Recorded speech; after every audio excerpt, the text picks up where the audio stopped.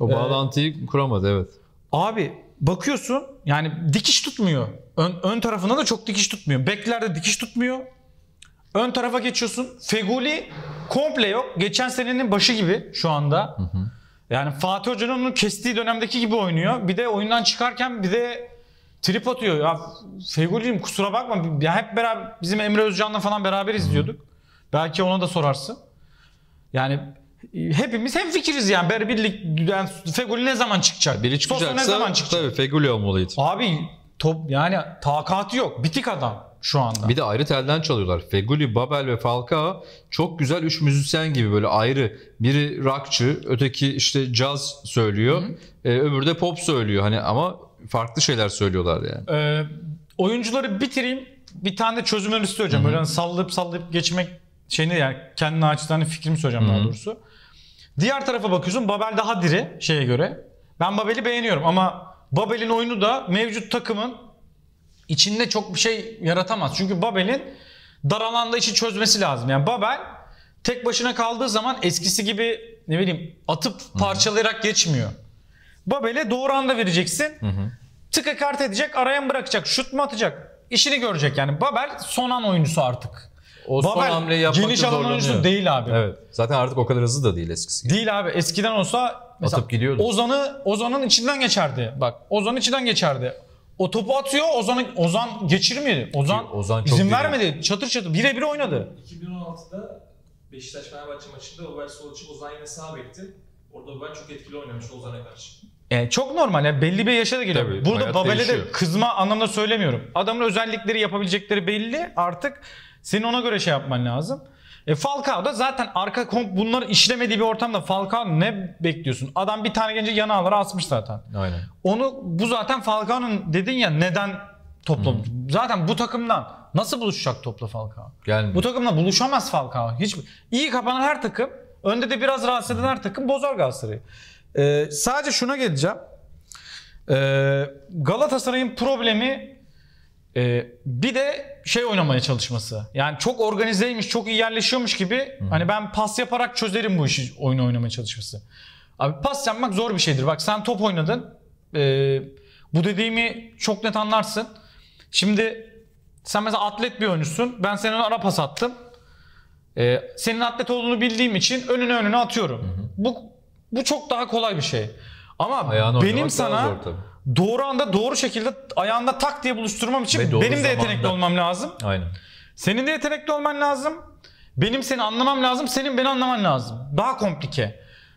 Burada e, dediğim gibi at mesela burada iki tane isim var. İlk senaryo Onyekuru. Şimdi ben onu biliyorum ki Onyekuru kaçacak. Onyekuru'nun önüne at şişir. O koşuyu gösteriyor zaten. Onyekuru atacak o kuşu deparı zaten. Onyekuru'dan fayda alırsın. Formatında var o adam. Abi Babel'le oynamak istiyorsan Babel'in ayağını atacaksın. Evet bazen göğsüne atıyorlar şimdi yeni yeni. Ee, ve Babel bu konuda becerikli bir oyuncu olmasına rağmen mesela buna Feguli de katıyorum. Feguli de ayağını istiyor. Feguli'nin önüne atarsan gitmez. Al- alamaz adam zaten. Da ayağındaki şu an ayağına da alamıyor da. Ee, genelde yani ayağını isteyen adam. Feguli ayağını istiyor. Ee, Babel ayağını istiyor. Ayağa atabilecek oyuncu sayısı sınırlı. Geriden gelen oyuncu sayısı sınırlı. Ee, ilerideki oyuncuların rakip savunmanın göbeğinde kalıyorlar, kucağında kalıyorlar. Ve doğal olarak da sen daha komplike bir oyunu daha e, destek almadan oynamaya çalışıyorsun. Bu beklerle bu, bu oyun oynanmaz. Bu beklerle bu oyun oynanmaz. Doğal olarak burada Galatasaray'ın artık e, Onyekuru'su yok ve pratikte bir şey üretmesi lazım.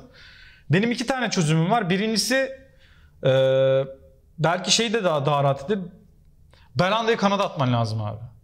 Çünkü Belanda ne, ne olursa olsun Yani e, atletizmi sadece solda, Babel'den de şeyden de daha Evet, Fegoli'den. solda oynayabilir. En azından dediğinde. önüne at. Birebir yakaladığı zaman pası da Evet. içeri aktarabilir. Bu birincisi. İkincisi sol, de sol önde oynayabilir. sol önde oynayabilir. Bir de bunu yapabilecek ikinci oyuncu Andone abi.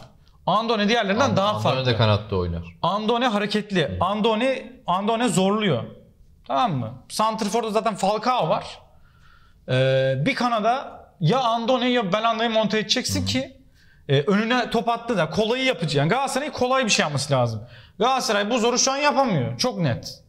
Bak yani şeyde yani inşallah akşam çok çok iyi olur.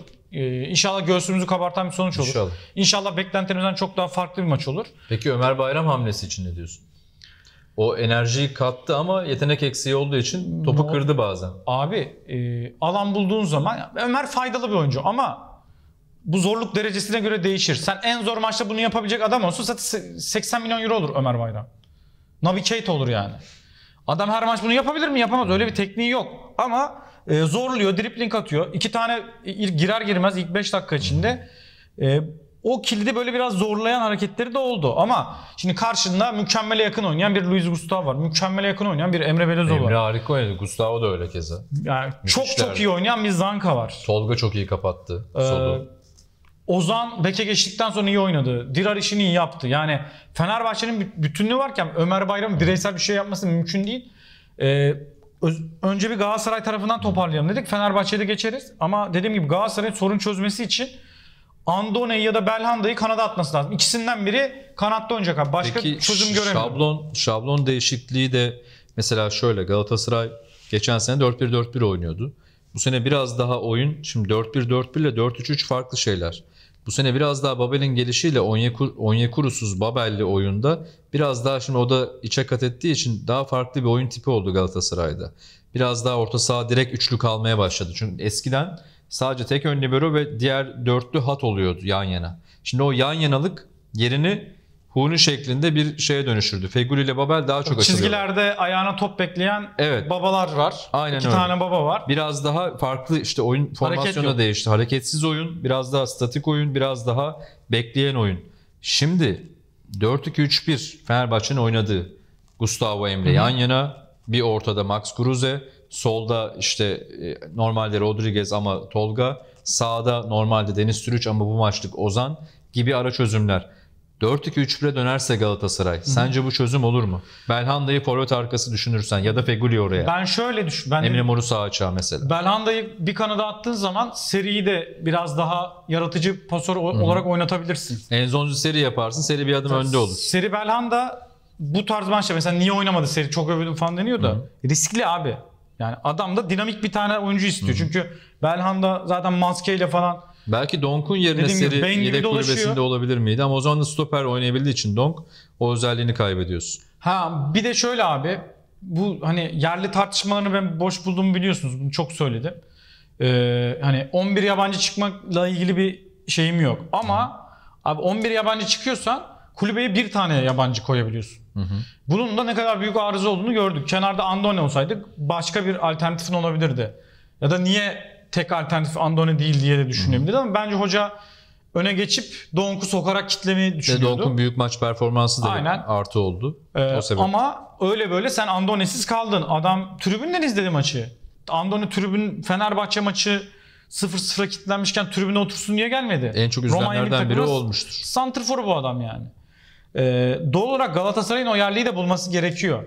Şey için değil. Milli marş okusun diye değil. Milli marşı mesela Max Kruse okumuş. Ee, çok güzel bir şey. Tamam ama şey değil. Yani elzem değil yani. Max Kruse de okuma, okuması olur. 11 Fenerbahçeli 11 oyuncu çıksın olur. Önemli değil. Ama sen kulübeni kullanamıyorsun. Değerlendiremiyorsun. Ee, Galatasaray'ın kulübe zafiyeti de bu 11 yabancı kullanma ısrarından kaynaklanıyor.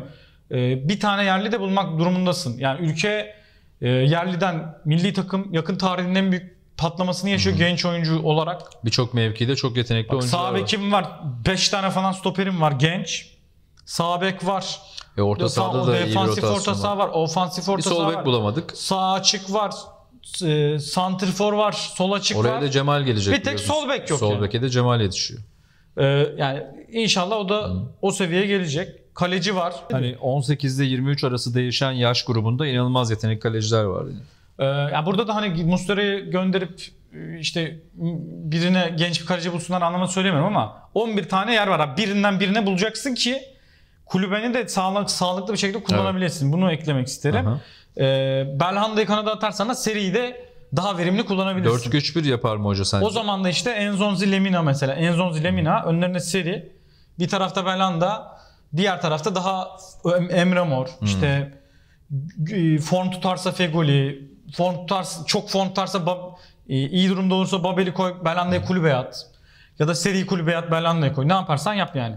Ama e, burada Galatasaray'ın bir an önce bu çözümü üretmesi gerekiyor. Bence kanatta hareketli bir oyuncu olmadan e, en azından palyatif çözüm olarak söylüyorum. Yani kalıcı bir çözüm de değil bu bence. Ama Ama kısa vadeli Ara çözüm geçiş- bence bu. ara Yan- geçiş lazım. Hocam bir Belhanda. olacaktır.